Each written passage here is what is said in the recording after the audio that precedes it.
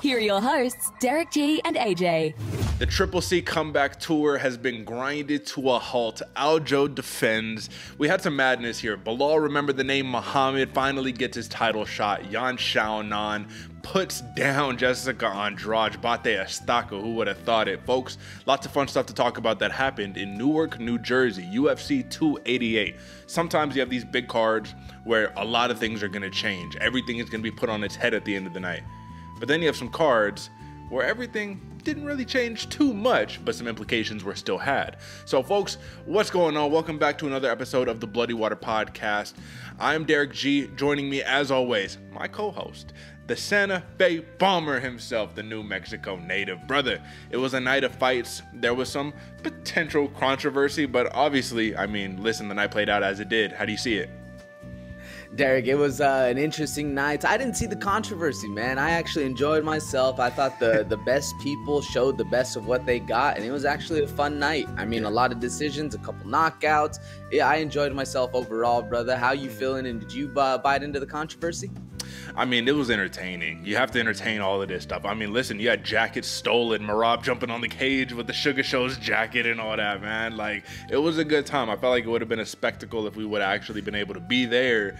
But nonetheless, even through the TV screen, man, I mean, you had some some unfortunate parts with the uh, Burns injury mid fight, right? Then you had you just had what you had, man. But we're here to talk about it. We're here to break it all down, folks. So we want to give you a friendly reminder: if you're not subscribed to the Bloody Water Podcast, AJ, they should definitely be subscribing right now, right?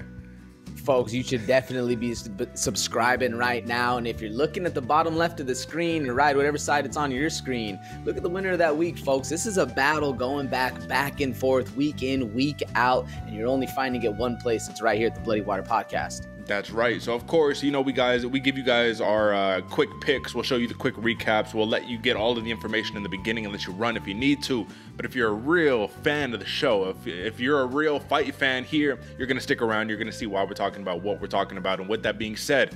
AJ, let's give a quick peek at the scoreboard and let's move on to these prop recaps. So, 38, 35, and 2. I am still an underdog even though I won the week. But AJ, 42, 31, and 2 is not bad, my friend. So we're both trickling up. We're getting there slowly but surely. I finally had a couple good weeks I've been able to string together, but it's all about momentum, baby. Let's talk about the actual results. So, real quick, I'm about to pull it down in just one second, folks. But you can see there is uh, one thing I'm not too proud of here today, AJ, and that's that on our Bloody Water podcast consensus picks, I was feeling money. I was like, we're about to go undefeated on these picks. I, I take pride, obviously, in my own picks, but if we're gonna do some like joint picks together, I want to make sure we shine. I felt like we missed real bad on the Yan Xiaonan Jessica Andrade, and it was kind of how I teed it up. I mean, you remember the conversation. I was like, "Can she get caught with a counter?" And like, "Yeah," and I was like, "Well, duh, it's a fist fight." But then it's like that's exactly what happened. So, give me a quick thought on that. Nothing too crazy, but a quick thought, and then we'll move on. Derek, I think uh, everybody was surprised at how sharp the counter striking of Xiaonan was in the face of danger and pressure. Man, very impressive.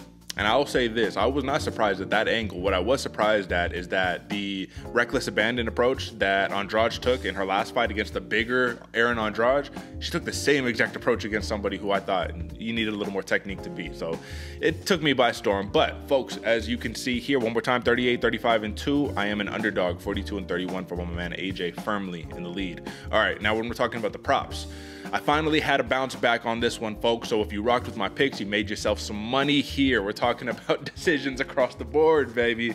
But hey, man, how bad were you sweating that Movsar Web pick? I know we didn't we didn't have legitimate props, but we both said decision, and uh, he almost got finished a couple times a couple times there. Got the very end, man. That knee bar, the oh the whatever knee lock it was, man, was insane. And there was a couple uh very very testing moments out of uh Lopes, man. They do look good on the ground. I think we have a new player in the featherweight division, Diego Lopes. We said he was game, but uh, I did not imagine he'd be able to give that type of uh, battle tested performance against Evlar, uh, Movsar, excuse me, Evloev. Nonetheless, folks, one more time, subscribe if you haven't yet because we're about to get into the nitty gritty, baby. Let's talk about it. Let's get into this main card fight.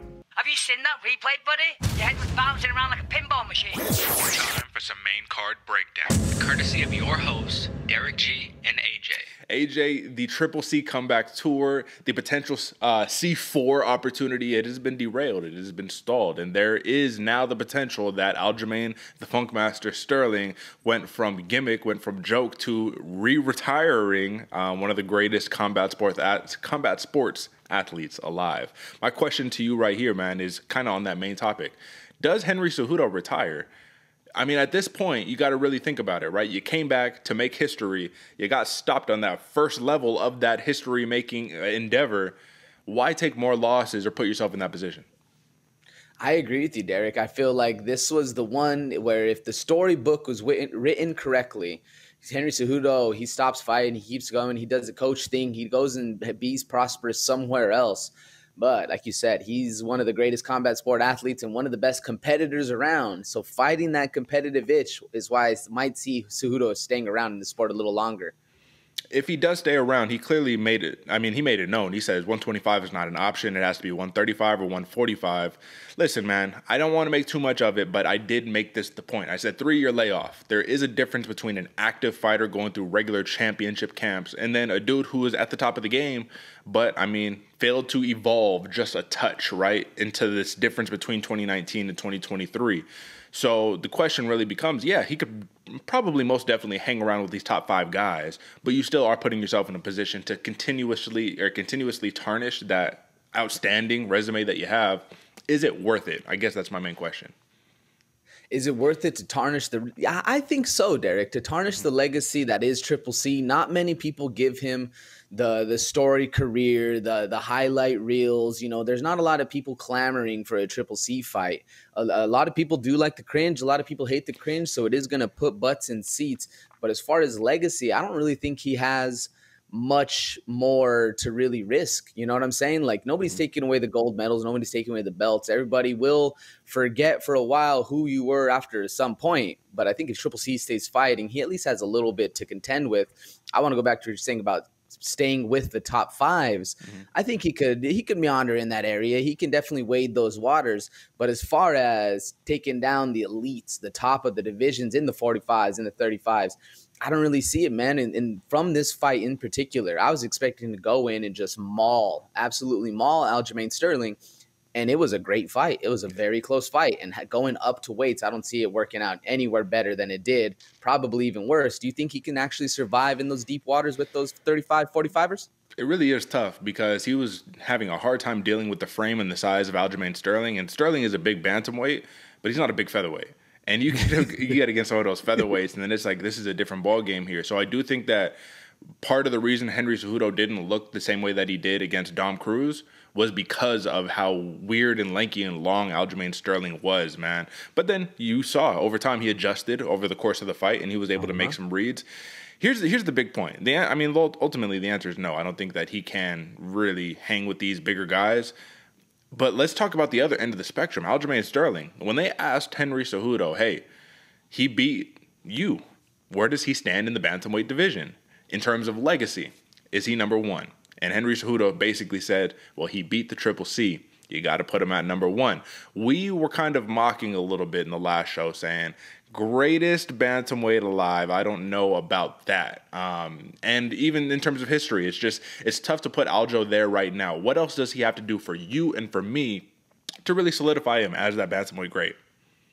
Ooh, if Aljo can go on a three to five run spree where he's just defending, defending, defending, and actually finishing these fighters, then that would kind of get me to start really talking about Aljo. If if if Aljo is able to develop his game from a more so grappling oriented where he needs to get things to the ground, but he can add, develop into somebody who's comfortable on the feet, willing to fight you at your own game, but still knows he's smart enough to stick to the game plan, mm-hmm. then we can start talking about GOAT. And at least in my thing, man, it, I don't know about you, Derek I, I uh, fights between teammates are never fun, but you gotta get the Rob fight, man. Like there's there's always going to be that lingering thing of like, oh well, you never wanted to fight your boy because he'd smash you. Like I don't know. What do you think? Does he does he need to fight Merab? And then what else is another criteria to put to make him the goat in conversation? I think if you want to win over the casuals, right, and you want to win over just kind of like the the normal person who tunes in and says, "Oh yeah, that Aljamain Sterling guy, he's pretty good," right? Like if you want to win over those people, Yeah, you have to probably. I would say you have to beat uh, O'Malley. You have to beat Merab, and then you have to move up to featherweight. And if you can secure a belt there, then you retire into Grace right there. Because if he said he needs to go on a three to five fight run or whatever the case may be, well, this is his third title defense, right? The first one against Yan, split decision. Then he finishes TJ, hurt shoulder, and then he gets another split decision. I see what you're saying. There's just it's not. It doesn't feel devastating. It does, you know what I mean? It doesn't feel like, oh, this guy is just manhandling everybody. But a title defense is a title defense nonetheless, man. Let's real quick, uh, real quick, excuse me, talk about some of these X's and O's um, on how the fight ultimately went down. Bro, Aljamain Sterling took down Henry Cejudo four times. Four times. So Henry Cejudo was like, oh, I've never been taken down. He did have a 96% takedown defense going into this. But the point is, outstruck him, took him down, used his length to his advantage, and was able to shut down a lot of the danger that comes with a Henry Cejudo, man. I mean, did you ever really see yourself in a position, because I want to talk the controversy just here in one second, but did you see yourself in a position where you're like, Henry Cejudo can actually get this thing done at any point in the fight? No, I never felt that Henry Cejudo was in the driver's seat to actually mm. do a lot of damage to put things down. And also to that same point, Derek, as much as Aljo was getting the takedowns and was having the control, I also didn't really see many points in which Henry Cejudo was like, "Oh, he's in trouble now. Aljo can finish this fight too." Yeah. So it, it, goes back to my point of we need to see a little bit more devastation out of the Aljo camp. But to the the controversy that that is or that was, there was nothing, not even a glimmer of that coming from the Cejudo camp. So that's what I think, man. I, I that's where I say the right guy won this fight.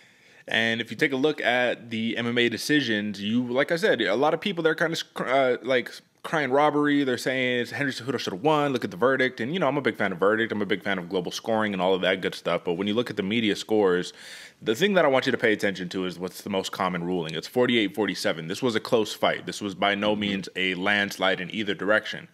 But you got two people that are down here with the Cejudo dub. Uh, most people have it in favor of Sterling. I'm a little surprised at this one 49 46 um, for Sterling because Henry Cejudo did manage to make some of these rounds really, really close. But at the end of the day, and still, Triple C fails to become C4. Um, I'm gonna take a uh, a bold bet, and I'm gonna say we don't see Triple C again in the octagon. I think it's wise to hang it up, and I do think that we will now legitimately have that conversation of like who was the better guy? Was it Cejudo or was it uh, DJ Mighty Mouse? I think it's I think it's Mighty Mouse man. You know he's yeah. over he just yeah. defended his belt again with the trilogy and Rice but all right man.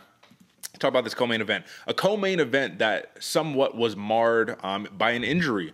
Gilbert burns we don't know like we don't know right if this was pre-existing or if it really did happen in the cage. It kind of seems like it happened on a takedown attempt but then again him and henry hooft in the corner were so covert about it and failing to actually hit it on the head that it makes it feel like he came in with a pre-existing injury.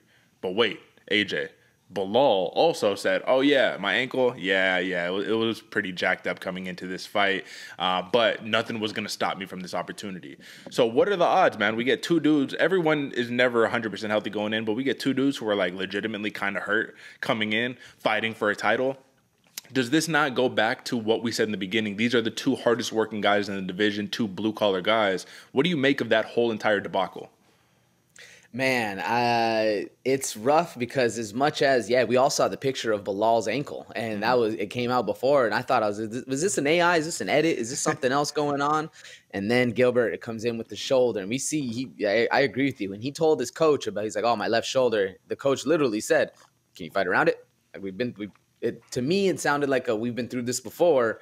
Are you good to go the way we have been going previously? Or we talked about this is the point we talked about. So it's rough, man, because you're right. You're never gonna have anybody that's 100 percent in, especially these guys took it in a, short notice fight. So there's no way you're taking the short notice fight and then pulling out and making yeah. Dana man, doing all that stuff. So it seems like it was a, a necessity for them boys to step in the ring. I don't know though, Derek. I don't. I don't feel I don't feel bad nor jaded on any of the thing. It, it does suck. It does yeah. suck, but it's kind of the you stepped on, you signed the dotted line, stepped in the cage. It's how you got to fight that night. It is what it is to me, and it's nice because it's both people down a weapon. You can't. I, some would argue that a shoulder versus an ankle is nowhere near the same, but they're both uh, very devastating injuries to a fight game. Yeah, man, and that's the other tough thing too is that if you look at Belal Muhammad, he did a lot of stance switching. He generally switches stances a lot, right? But Henry Hooft was trying to call it out, like, "Hey, that leg is hurt. Target that leg." And then Belal, when he finally picked up, oh, that shoulder's hurt, started throwing leg kicks or uh, head kicks, excuse me, right? Beating up the shoulder. Both shoulders were hurt on Gilbert. Is this a fight that you would entertain wanting to see a rematch in? Or let's just say, hypothetical land, Belal completes the conquest, gets the gold. Does Gilbert deserve, uh, Gilbert Burns deserve a title shot against Belal in that type of rematch? The same way that we kind of want to see like a Leon Edwards Belal Muhammad rematch. What do you think? 100% Derek and I think it'd be criminal to not give Durinho an actual legitimate rematch. I'd love to see these two fighting for the actual belt too cuz that is a grind of a fight. These guys are going to be putting everything into it, man, and I mean I, I think that's that would be some cosmic justice right there going forward. I do I do think that one thing that's a little bit different about Belal versus a lot of these other fighters is that for him I think every fight is a title fight because every every fight is his opportunity to move one step closer to a championship fight which has been eluding him for so long.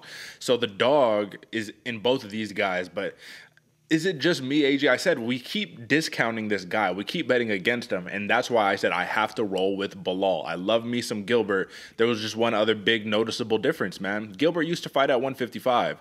Belal Muhammad will never make 155. Belal Muhammad mm-hmm. was notably a larger man and was able to take some of Gilbert's best right hands kind of with no problem. So that's the other problem right there. People forget Gilbert is not the biggest 170 pounder in the world, you know? Yeah, he definitely looks like he's the bigger fighter. Media day, he's pressing up, but then you see him stand together in the cage too. It looked like Belal bloomed up a lot mm-hmm. more than Gilbert. And you're right, I expected Gilbert to be the the bully in there, and sure enough, man, Bully B showed up and showed why he deserves that name. Remember the name Bully B Belal Muhammad, man. Finally, um, it's either going to be Colby or it's going to be Leon. But either way, he gets his opportunity, and that's the only thing he's asked for. So this was a huge victory, marred in injury, but uh, nonetheless, man, five rounds. I mean, pretty much domination by Belal Muhammad. All right, bro. Short and sweet right here. Nine. Yan Xiaonan looked crisp. She was tall. She was long. She was sharp. She was fast. And Jessica Andrade I think what we're starting to see now at this point, especially with the comings and goings of up and down weight classes, she has one one kryptonite, man. The I said it.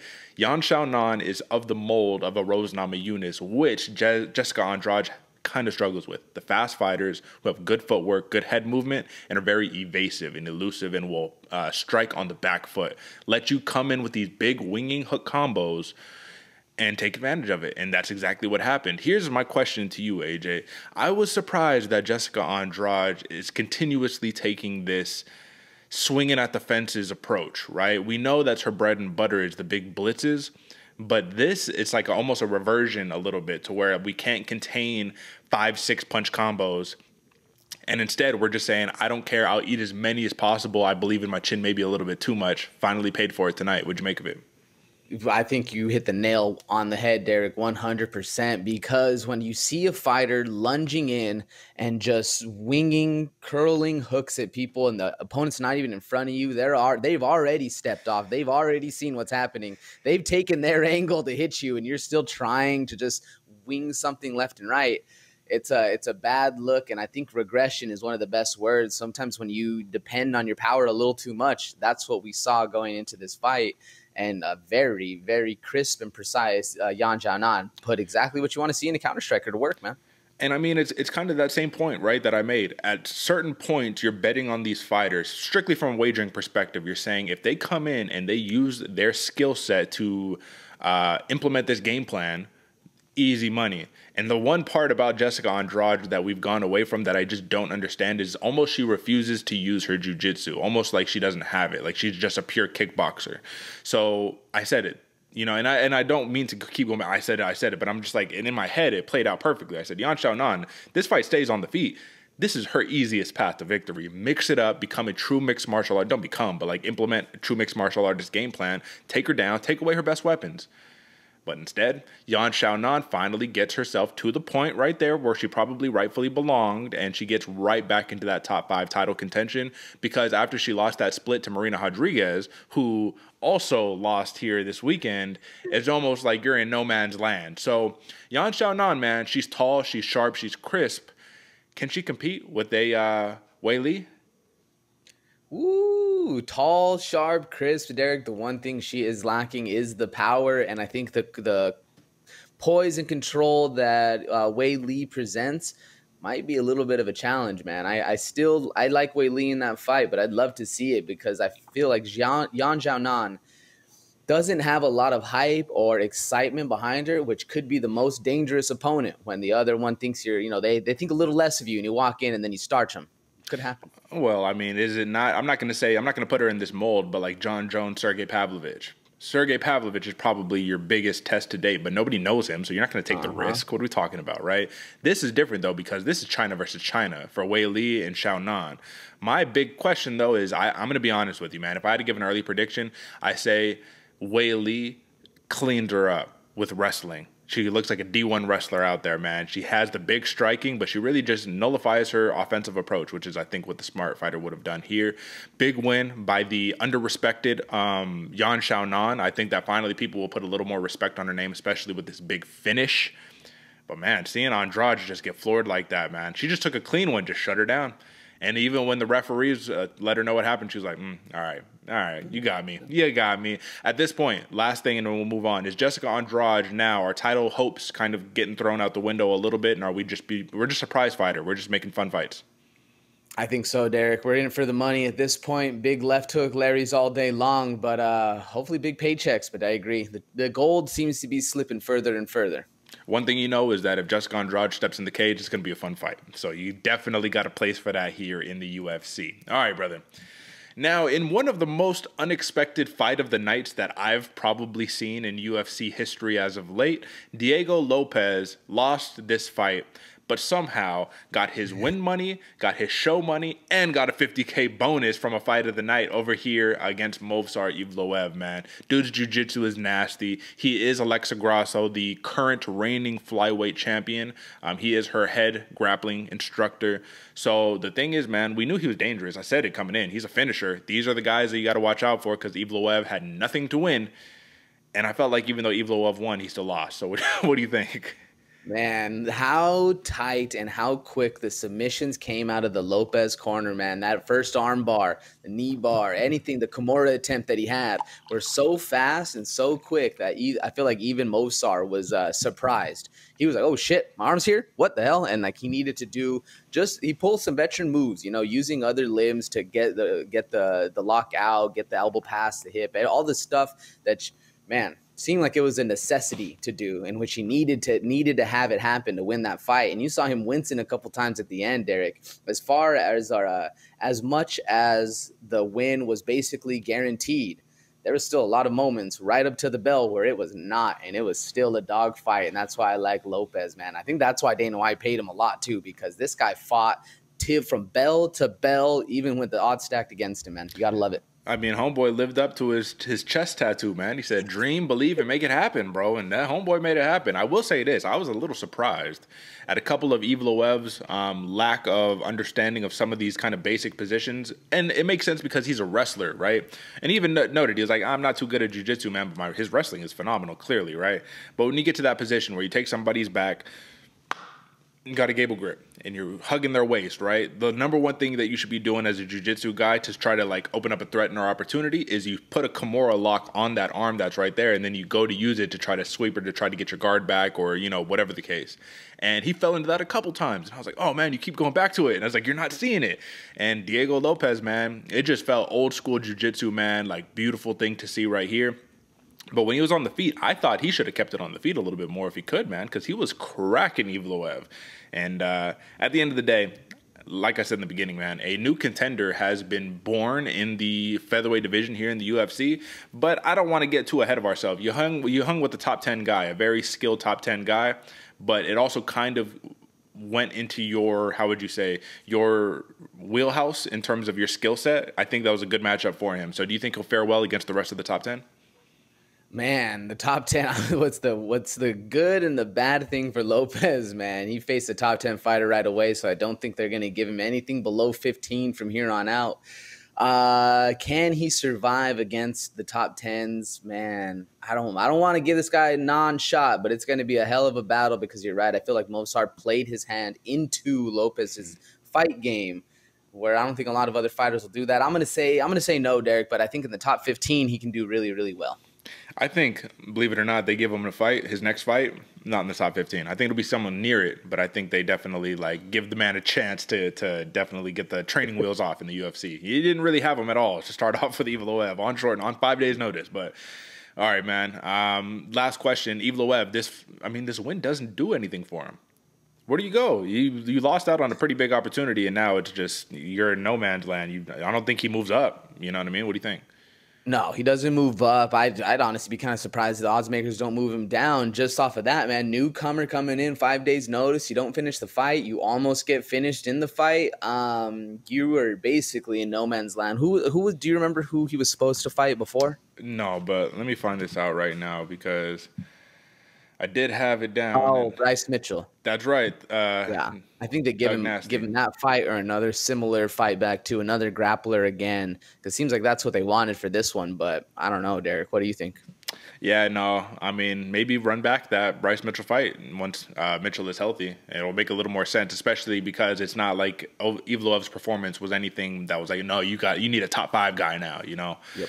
Either way, big, big win for Evloev, but also big win for Lopes. Even, even without the win, big win. All right, man. Now this is the the oddity of the bout or of the fight card right here: Kron Gracie versus Charles Jourdain. I felt like we were all excited to see Kron back, right? Fantastic jiu-jitsu. Um, notably, yeah, he has always had this old school game. I don't know why people are just picking up on it now, but his his whole thing is close guard, back takes. I mean, just like none of this new school berimbolo type crazy jiu-jitsu stuff.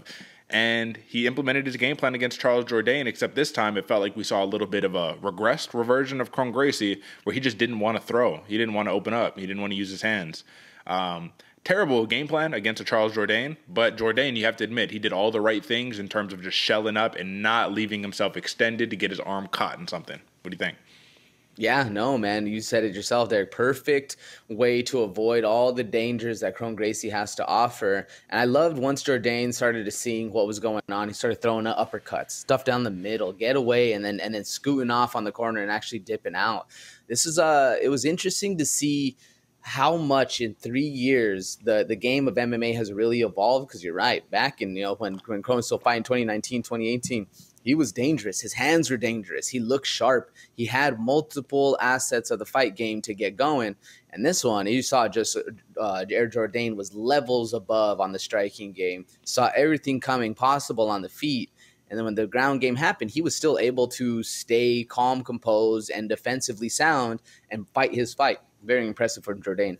Yeah, I'll say I was just completely blown away by Jourdain's maturity in this fight. We had mentioned it before. This is why it's hard to bet on him because he's always done doing something wild that you don't, that you don't expect. And you're like, no, don't do it. Like you need to stay stick uh, stick to the game plan. You need to strike with him. That's exactly what he did. No flying knees this time. No crazy spinning shit.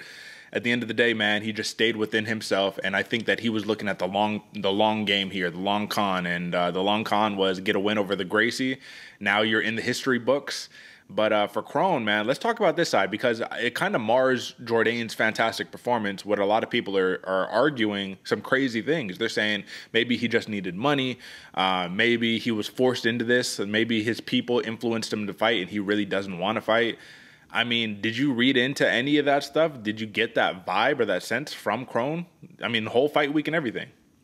I man, not I mean, not really. You know, it seemed like Kron to me is just a, a, a mountain man who likes his privacy. He likes to live in Montana, go on his farm, hunt, kill, do things, train to fight, and no, nothing wrong with that. And I'm I'm always of the firm belief, and and you know, I guess everybody's of their own, but um, nobody as a man, as a human being, nobody can make you do anything. You know, you can always somebody has a gun to your head, you can always take the bullet. You do not have to do anything somebody for uh, is trying to make you unless they can physically do that and that's why we train to fight. That's why we train to protect ourselves because nobody can physically do that. So i don't know man. I don't i don't buy into it. Maybe he needed money because that is the ultimate. You will do a lot of things because you need money Kron Gracie doesn't seem like much of a uh, possessions man or a uh, you know clout kind of guy. So I don't know if the money was necessarily chasing there. What do you think, Derek? Well, in the wise words of my, my man AJ right here, you always have a choice. And he did have a choice going into this one. I will say this the storyline behind Kron, obviously, we don't know Kron Gracie, but the storyline behind him as a personality, as a public figure, is that he his family, because he is a Gracie, he is from the direct lineage of the Gracie, he's Rickson Gracie's kid. I mean, they kind of put him in these positions where he needs to compete and he needs to put on for the Gracie name. He always said, he's like, that's in my blood. It's just part of my story. It is what it is. So in everything he does, he represents the Gracie clan. Well, maybe they're like, your ass needs to get out there and need to go fight. Even Dana White, though, after the performance, he's like, I don't want to shit on him. Didn't have the best performance, but I really like him. He's a cool guy. So there's some there's something going on. I don't know what's going on here, but I will say this was a big, big win for Charles Jourdain. This is arguably one of the biggest wins name wise in his repertoire. Even though, if you look at the context and you look at the reality, it's it's not really the biggest win. This everyone was saying they're like it looks like Kron Gracie just got out of a time capsule from 1995 and fought the current generation. And I think this is a good point in that argument of these new guys are so dangerous because they're good at everything. Back in the day, everyone was a specialist. Specialists don't really exist anymore. So, do we see? I mean, everyone has a contract to fulfill, but do we see Kron Gracie in the octagon again? Like, do we want to see this performance time and time again? This performance, no, Derek, but I do think this performance will shed light to Kron Gracie and show him exactly that, that he's still a little bit behind, a little bit, you know, back in his own specialist era, like you're talking about. Uh, he develops, he grows, he kind of starts being more of that pressure fighter, always in your face, and then able to get to where his specialty lies. That's the kind of fighter I think we can see at a Kron Gracie, and I do think we see him fight again. Definitely not up at this caliber, you know, as an Air Jordan, but maybe a little lower. Give him, give him a little tune up, see how he goes, see how he fares. I like, I like him, man. I like the idea of having at least some sort of lineage in UFC. You know, it's always providing back and forth from the past to the future but not not if you're getting whooped on. Yeah, I mean, fair point, brother. Fair point. Big win for Charles Air Jourdain. And with that being said, that was your UFC 288 main card, folks. It was a fun one. Like I said, not a lot changed, but a lot happened, and that's still important. Now, with that being said, um, I want to talk about a couple of these prelim bouts that we have on deck here, man. And the one that I want to talk about first and foremost is Matt Steamroller Frevola. He capitalizes on the opportunity that we were talking about going into this fight. I said it. Drew Dober is giving him a shot. What does Drew Dober have to gain from this fight? Probably nothing, but Matt Frevola is a bad, dangerous man. And what did he do, man? He caught him. Drew Dober was, as soon as he was starting to take over the fight, Matt Frevola came out of left field, started picking up his action, and then just caught him with the counter, man. And then nasty follow up, got the job done. Some people are crying that there was a little bit of an early stoppage, um, and Drew Dober was contesting it, but he did look like he was out on his feet when he tried to stand up. What'd you make of it? Man, that was uh, the only thing that was coming from a, uh, not stopping the fight at that exact moment was more damage to Drew Dober. Homeboy was leaking on the mat. His eyes were glossed over. The only reason he was able to, you know, protest a little bit was because he, had, uh, he stopped getting punched in the face. So I, I actually think it was a perfect stoppage. It, the only one where I was like, maybe this was a little bit short stoppage was the Yan Xiaonan, Jessica Andrade. But even then, she got stuck. So yeah. no, this was not a short stoppage. This was saving some brain cells for Drew Doberman because this was a, a, hell of a shot from Frevola, bro, and he can crack. This is a great fight all around. I was very excited to see this one. This is action all day long, man. So this is the thing about Matt Frevola. I've been really high on this guy for a long time, and it always felt like he was in that tier of fighters who was just like, you're good to make these splashes, but when you get really tested against these high quality opponents, we just we just can't quite get there. And now he's starting to get there. Now we're stringing three together, and then what does he do, man? When I'm talking about capitalizing on your moment, I'm talking about him saying, Paddy. Let's fight. He literally said it. Stop being a bitch. Let's fight. And I was like, bro, you couldn't have done it better. Matt Frevola won the night, in my opinion. Steamroller, let's go, baby. But you know Drew Dober will be back in epic fashion when he does come back. Question is, Matt Frevola got a number next to his name now, baby. Come Tuesday, can he compete with these guys in the top 10 to 15?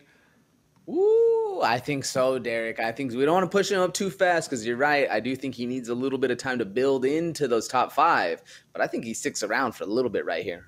All right, I'm going to pull it up really quickly just because I'm slightly interested. Before we hop into our official rankings review, I won't pull it up on the screen, but if you take a look at top 15, top 10 to top 15, I'm going to throw out a couple of names, and I just want you to tell me if this is somebody that uh, you think that he could be able to hang with. I'm going to give you one right now that maybe this isn't fair, but honestly, this is this is right there next to him. Uh, Renato Moicano. Ooh, yes, I think he does. Okay. Grant Dawson harder fight. Well, yeah, I don't know. I don't know about that one. Damir Ismagulov, No, I don't think he gets one on Demir. Dan Hooker. Yeah, show it depends on how Dan Hooker shows up. I won't hate on Dan. I think instantly in my mind he says Hook, uh, Frevola can get this one, but I won't hate on Hooker because he can show up on the fight night if he does. All right, last one. Jalen Turner. No, Come on, I think I think on. Turner stops him from five feet away. So this is kind of what I'm saying though is now you asked for the shot and you got it, baby. So be careful what you wish for. But I'm all in favor of the steamroller camp, man. I wish him nothing but the best. That was a fantastic performance right there. And with that being said, talk about a couple other ones, man. Um, listen, this this is one that I said it got buried on the prelims, but I, I wanted to hear more about it. I wanted to see uh, this be pushed a little bit more. Virna Jandiroba dominates Marina Rodriguez. Look how quickly you go from being potentially one fight away from a title shot to now you lost two in a row. Now Marina Rodriguez is 36 years old, kind of in no man's land, and Virna Jandiroba is slowly but surely climbing up those rankings. I mean, what did you make of this performance here? This is a classic Jandiroba performance, and it kind of felt like Rodriguez grappling regressed just a little bit in this fight. So, what do you think? I don't know if it was so much a regression as Marina Rodriguez grappling, but as far as uh, Vina Janjadopoulos being so talented and so many steps above on the grappling of Marina Rodriguez, because man, it looked it, as a striker, all I saw was just a look of being drowned on the mats from from Marina Rodriguez, and it was very rough seeing it. She, she just every time her butt would hit the ground, you see her just take that that breath of fuck again, like shit. I'm back here, post down, try to do all the stuff you need to, and just getting drowned in those mats, man. It was a rough one. Great fight for Jandiroba, though. This is uh, a very excellent performance to showcase what Jandiroba can do and not necessarily showcase a lot of her weaknesses. Like Marina Rodriguez did not exploit anything on the feet that made uh, a, a bit of concern at all. Do you think there was any concern coming from the Jandiroba court? I th- yeah, I thought at certain points. I mean, you gotta you gotta remember, Hari- uh, Rodriguez. She went around. I'm pretty sure she went around just from strikes. I didn't think she should have won the round, but I believe she was granted a round um, because when she was able to get Jandiroba on the feet, she was able to take advantage as long as it lasted. But here's my problem, bro. Jandiroba is a phenomenal grappler, but she didn't really set up any of her takedowns. She was shooting from way far out, and she was just able to get them time and time again. Gets in on a single. Marina Rodriguez does like 85% of the correct stuffing in terms of being able to get like get out from that single, but then the fence is right there. Now you can't complete the takedown defense and now you get taken down and now you're against the cage and I will say at the very end of the fight, Marina Rodriguez did have a triangle attempt that was right. It was like almost begging, like, please take this triangle. And instead, she opted for some up kick. So maybe she could have got a triangle. Would have been tough against Jandiroba. But uh, it just it felt to me like Marina Rodriguez really, really dropped the ball on this one. This is probably not her best performance. But it doesn't matter because Virna Jandiroba, she gets the win, she gets elevated, and now we'll see what happens. But I just want more traction in this division, man. The strawweight division needs a little more movement. It's been real slow over the course of this year. And uh, I want a new contender for Weili. That's not Yan Xiaonan because she's already been in the mix. You know what I mean? But big win. Um, all right, man. Heavyweights. Parker Porter, bro, finished Braxton Smith. I was like, yo, obviously, if you're a better, the upside on Braxton Smith was almost too much to to stay away from because he came an inch away from a fucking nuke from hell with the right hand over the top multiple times. But the more experienced Parker Porter put him in his place. So, I mean, what'd you make of that fight? Uh, man, you you said it yourself, Derek. An inch away, centimeters away, the gust of wind that, that Parker Porter felt probably hurt a little bit as well, man. Because yeah, uh, Braxton Smith, you gotta love that this dude comes out gas on the pedal and or foot on the pedal, just oh, bro, he was swinging for the fences, and uh, Parker Porter looking slim, looking uh, a little little toned up. This dude's getting serious about his fighting career, man. I love to see it. This was a very entertaining fight for these big boys, man. That's right, man. And I will say Braxton Smith. Let's not forget this dude. I think he just uh, joined an MMA gym. This fool doesn't he doesn't train like legitimately. You know what I mean, like professionally. So I expect to see some big things from him in the future. But I don't think that we see his next fight in the UFC. I think unless he has some like three fight contract that he signed or something, I think they're like, no, no, no, no, no. You need to go pick up some experience because uh, 90 second gas tanks don't do very well in the UFC. All right, man. This is probably my most impressive performance of the night. Like the Matt Frevola one stole the show because of like how he followed it up. But Ikram Aliskerov, man, he starched Phil Hawes. And this was a fight where I was like, if Ikram can get the takedown, he wins. Especially if he can keep Hawes down, right? But I think that I picked Hawes because I felt Hawes could get back up and he could damage him on the feet. He was putting it on him until he wasn't, man. But something weird happened, bro. It's like it's like Hawes for a second there was a momentary lapse or something. He got caught, something we didn't see, and just kind of froze up, and then a one-two down the pipe. And bro, when you fall in segments, in like three segments, you know your brain is completely shut off. Like he fell, his body crumpled three different ways and then finally hit the mat. I was like, Ikram just caught a body, bro. I mean, this dude is a real, real legit guy at 185. What do you think? To uh, to quote my girlfriend when she saw this knockout happen, she goes, "What happens if somebody dies in the ring?" well, they died. I don't know. Thankfully, it hasn't happened yet. But you're right. The way he crumpled was very concerning. They were they were talking about he had a head kick before. I didn't see it, man. I, I didn't see what exactly stuttered him to not put his hands up, to not eat a clean one-two down the pipe. But man, very impressive from Ikram. Man, that was. uh I was with you, Derek. I was thinking Ikram needed needed to get this fight to the ground. And the next thing you know, the cleanest, most technical one-two we've ever seen down the pipe puts Phil Hawes to sleep and snoring. And you got to also take into consideration, man, this isn't a guy who just kind of came out of nowhere. I mean, Hamzat has been giving him high praise. If you actually take a look at his record, his whole sole loss, he's 14 and 1, got knocked out by Chimaev, right? First round uppercut, got knocked out. But Chimaev did say that um, Ikram was his toughest fight to date. I don't know, maybe now with the Gilbert Burns fight, but high praise for that man. I want to see him again, and I want to see him against someone big, bad, and dangerous because clearly he could rise to the occasion.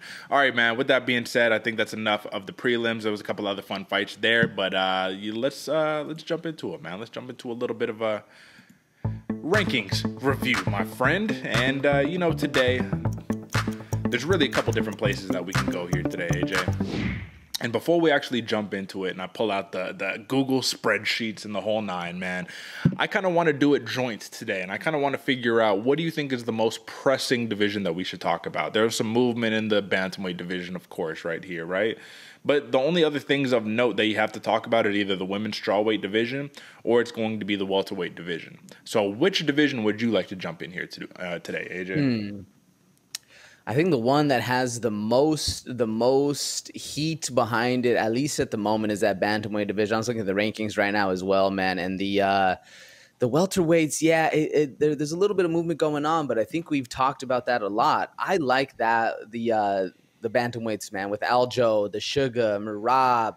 There's a lot of fights that can come, man. Especially like you're saying, the um, even Petr Yan come back in, Marlon. There's a lot going on. My big question to you, Derek what the hell happened to Corey Sandhagen? Why is nobody talking about this kid again? Does he even have the shot? Are we just are we just strictly Aljo Sean Merab? Well, here's the thing. Corey Sandhagen has kind of made it clear himself. He's like, I'm going to do whatever I can to get back to that title opportunity, regardless of the path that it takes me on. So if it takes me on the path where I have to fight Merab, I've already stated I want to fight Merab. Well, guess what? You might just get that chance because Merab doesn't want to fight Aljo, and Sugar Sean is already going to get the shot against Aljo. So that's the, that's how we line it up. We say Merab versus Sandhagen, O'Malley versus Sterling, and then whoever's the winners of those fights, they fight. And if Al- Aljamain already made it clear, he says if I win against Sugar Sean, I'm going to go up to 145 and I'll fight Volk or whoever is the champion right there, either him or uh, uh, Yair Rodriguez, right? And then that's the thing, Merab – if he loses, well, you go back to the grindstone here at the top of the bantamweight division, and if he wins, it kind of sets it up perfectly, right? Aljo vacates. Maybe they do an interim title fight or just a, a just overall contender type series. I don't know, man. But I think it's a, it's actually very neat in the bantamweight division, unless a wrench gets thrown in there and one of these guys, Rob Font, uh, I mean Song, you know, one of these guys comes out with a steel chair and just cracks somebody over the head. I mean, I don't know. Do you think it's more complicated than that, or? No, I actually love the way you're setting that up, man. Merab versus Corey, Sugar versus Sterling. And I, you're right. If there's ever somebody who's going to come in with a steel chair out of the left corner, it'd be Song Yadong because this boy has missiles for hands. Yeah, I, I mean, Song Yadong gets a knockout Petr Yan, then knocks out Rob Font. He's almost undeniable, you know, and like, especially when the other ones are fighting yeah, that I like that. Is man, I wish this is times when I wish the UFC would do a little bit more like tournament style. Mm-hmm. So that way we can know. Because then when you know the path to the top, there's a little bit more uh pressure on the line, if you will. It's like I need to win this fight, or like, oh, I don't want to face that guy, so I got to play my cards right. I like that whole aspect. Well, that's the thing is the UFC isn't going to take a page out of Bellator's book, but this is the perfect opportunity for a bantamweight Grand Prix. I mean, I'm just saying, you know what I mean? But Bellator literally just did. Patchy Mix just won the Bellator Grand Prix in the bantamweight division. So, listen, there's going to be a lot of opportunity for movement, but if there's a couple of players who can come out of left field, we're talking about Umar Nurmagomedov, we're talking about Song, we're talking about Rob Font. I think everybody else is solidified where they're at for the moment, and we have to see some fights kind of shake out. But for the meantime, man, bantamweight is a bad, bad division, as we always say. All right, folks, with that being said, that is your show here today. If you have not subscribed, you should absolutely subscribe. You should follow me on Twitter for fun, some fight night updates. I think that I do a good job at handling the Twitter sphere. My man AJ is live on Twitch, twitch.tv slash Santa Fe Bomber, so definitely a different medium right there, my man. But what can the people expect when they tune into your stream? Folks, Joe, go check it out. Twitch.tv slash Santa Fe Bomber. The best word I've heard described is variety streamer, man, because we're doing a lot over there. I got a lot of life going on, art projects, playing games, but the biggest, most important thing, folks, when you jump on to twitch.tv slash Santa Fe Bomber, hop in the chat, then we can start breaking down some fights. That's when I know y'all are actually in the mix and wanting to see what it is. And that's the best part about the platform. Hit me up in the chat. Let us know what you want to see, what you want to talk about, all that stuff. And we can engage going back and forth like that, man. That's one of the reasons why I like Twitch so much, is because it gives us a chance to actually chop it up, go back and forth, just like Derek and I do week in and week out right here. That's right. And that's at the end of the day, if you want a little bit of more access into the nitty gritty of what the process is for breaking down fights, if AJ, do you think that he just slings mud at the wall and he's having these fantastic records over here? No, some study comes into this, some film breakdown, and some real thought process, because at the end of the day, it can look fantastic on paper and not come out to fruition. So, folks, this is the Bloody Water Podcast. AJ, Last time I checked, this is uh, your favorite fighter's favorite fight show. So once again, tell a friend to tell a friend. You know where to catch us. Catch us on Friday next week. We're gonna be breaking down Jairzinho Rozenstruik versus Jailton Almeida. That'll be a fun one, brother. All right, my man. That's it for us. Until next time. Peace.